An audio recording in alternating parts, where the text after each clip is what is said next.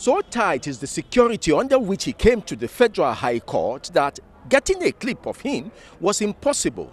Of course, the explanation of the security agencies that brought him back to the court after three years of his absconding is that they would do nothing to endanger his health and well being so that he can come and continue the trial for which he jumped bail in 2019. At the court, presided over by Justice Binta Nyako, the prosecution made an application for him to be remanded.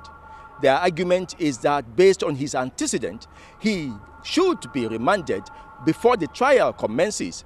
And Justice Binta Nyako granted that application and gave 26th of July for the commencement of the trial. He is going to, at least for now, continue on the 11th count charge for which he was initially arraigned in 2015 up till 2019. Now, before then, the Minister of Justice, and accompanied by the, uh, the Inspector General of Police and other security agencies, explained the circumstances under which uh, Nnamdi was rearrested. Arrest on the same date over his failure to appear in court for hearing. He has, often jumping bail, been accused of engaging in subversive activities that include inciting violence through television, radio, and online broadcast against the Nigerian state and institutions. Kanu was also accused of instigating violence, especially in the southeastern Nigeria, that resulted in the loss of lives and property of civilians, military, paramilitary, police force, and destruction of civil institutions and symbols of civil authorities.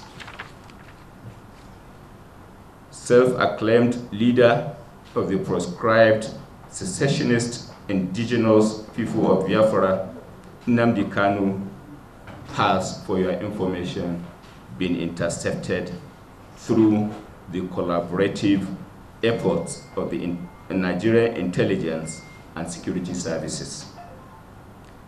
He has been brought back to Nigeria in order to continue facing trial after this disappearing while on bail regarding 11 count charge against him.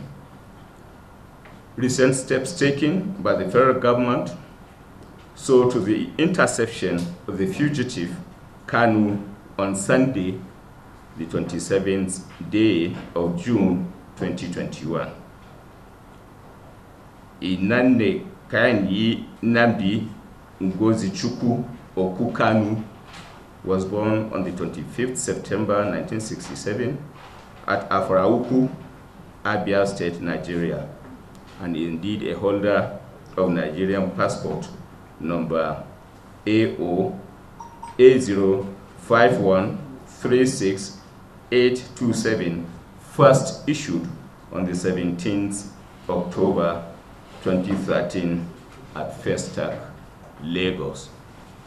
For your information, distinguished members of the press, Kanu is as at now being produced before Federal High Court in continuation of hearing of his case in respect of which he has evaded and indeed jumped bail.